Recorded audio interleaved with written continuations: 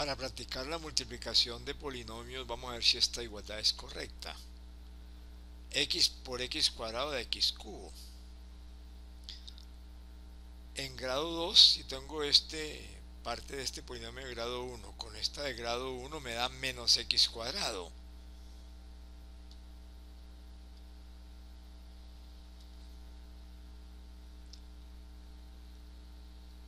Este por este me da menos x cuadrado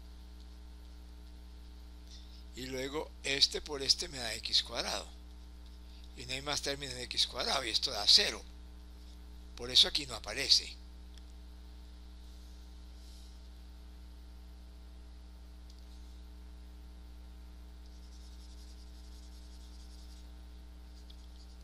Miremos los términos en x.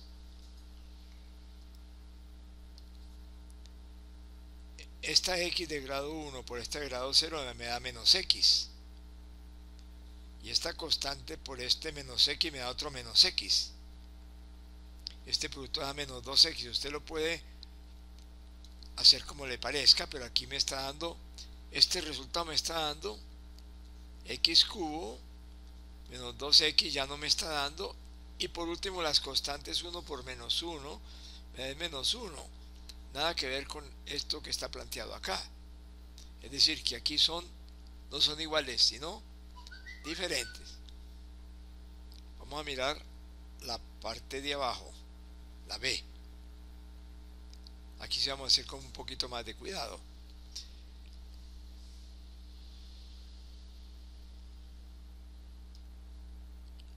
En el grado 3, como este 8, proviene del 2x por 4x cuadrado.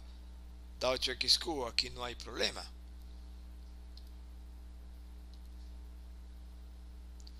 8x cubo.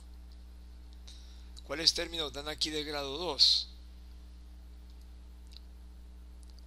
De grado dan, dan, por ejemplo, cuando tengo aquí grado 0, el más bajo, menos 3 por 4 da menos 12x cuadrado.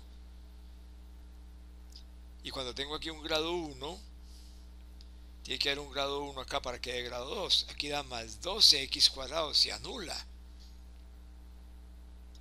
Grado 0 con grado 2 dio menos 12x cuadrado. Grado 1 con grado 1 dio 12x cuadrado. Y aquí tendría que tener un grado 2 con un grado 0. No hay más término en x cuadrado. Esto se anula en x cuadrado porque a usted le debe dar de alguna manera que lo haga, que le han enseñado a usted a multiplicar polinomios, tiene que darle, aquí hay una anulación, da 0. Término en x. 2x por 9 da 18x. Y menos 3 por 6x da 18x negativo. En x solamente aparecen 2x por 9 que me da el 18x. Esto se anula aquí. Más 18x y menos 18x. 0. Se anulan me falta la constante que es 9 por 3, 27.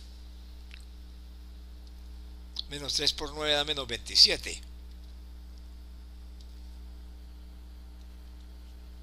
Evidentemente, esto da 8x cubo menos 27 y son iguales.